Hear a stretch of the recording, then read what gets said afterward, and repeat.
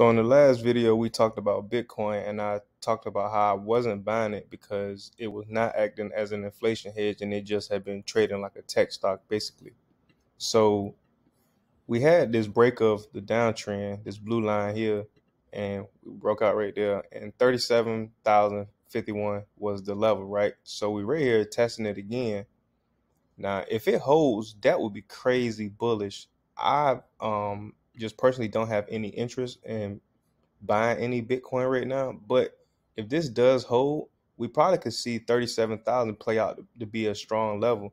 Now, like I had talked about in my last um, video yesterday, that's right here on what we have um, as pretty much the neckline of this. Let me get the right tool out. It would be um, the neckline of this double top. And so the double top, I just stopped that there. The double top is not the the neckline is not looking to be uh, perfectly horizontal. So we kind of have our neckline really kind of like that, right? So if Bitcoin does go to hold this trend line, hold this neckline, and just consolidate here for a while, I would love to see it consolidate for a few weeks or a couple months at some level before I decided to take any kind of shot at it. And even then, you could just play a break above. Um, I, I don't even know, man. I don't even know. I'm real skeptical on anything, any anything speculative. Uh, but like I said, you can trade anything. I don't know if thirty-seven thousand holds for years and years to come, or months and months to come, or just a few days. I have no idea. But if if this were a normal, um, if we were still in a low rate environment, and we weren't worried about um, rates rising and significant balance sheet runoffs and stuff like that of that nature, I would most definitely be buying Bitcoin and holding it, plan to hold it for you know a few weeks, a couple months until we retest. Uh, I just trim at these resistance levels as we go higher and higher. So, um, and, and just in this environment right now, I'm just not interested. Um, there's a lot of other things I would rather buy, but I do think this is a good trading opportunity, and I would just probably set a stop loss. Oh man, I would probably set a stop loss.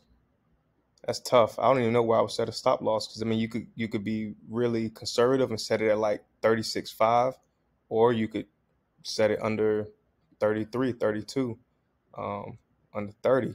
So it's like you just I just don't know where Bitcoin going like I don't know I don't know where I would set my stop loss at. So you got a bunch of support levels here.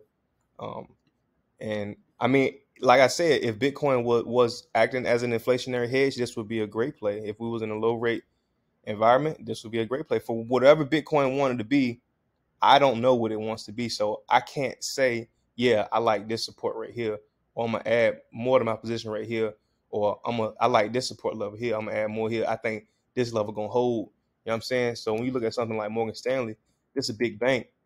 I'm playing these dips. I'm playing these pullbacks every single time because I know what Morgan Stanley bringing to the table. I know what Morgan Stanley doing in a high rate environment. I know what's coming for Morgan Stanley, that that kind of thing. But I just don't know for Bitcoin. And um, when when you're in a situation like that, it's best to just not invest because when your emotions get involved and the trade even start to look like it's not going your way, you start doing crazy stuff. You start doing wild stuff.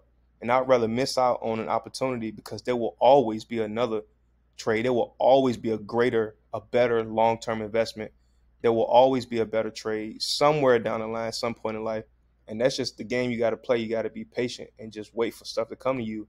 And if you don't like it, don't trade it. Don't buy it. Don't hold it.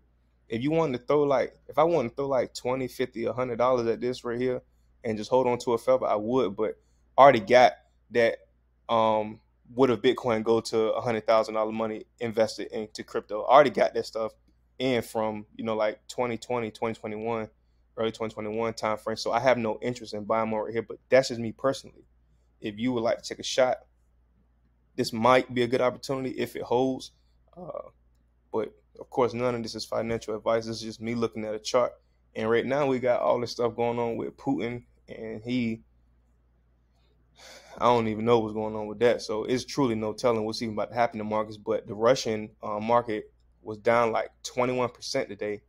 Uh, so I mean, stuff getting crazy. Like it's really getting wild. So I would just say, just do your thing. Uh, I'm just letting you guys know that we at a key level here, and we could see a bounce on a rip, or we could see a nasty flush. And have if you bullish on Bitcoin, then trade bullish. If you bearish on Bitcoin, then trade bearish. Me, I'm just staying conservative. I'm not touching it right now. Just kind of watching.